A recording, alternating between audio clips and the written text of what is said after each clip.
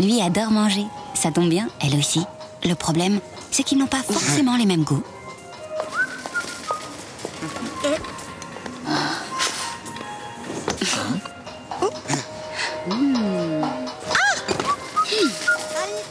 Le propriétaire du break jaune est prié d'enlever son véhicule immédiatement.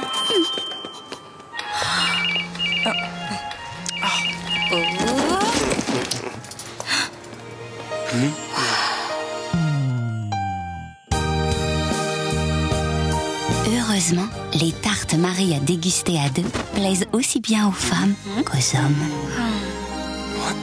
Faites la paix en chanson sur tartedetoi.fr.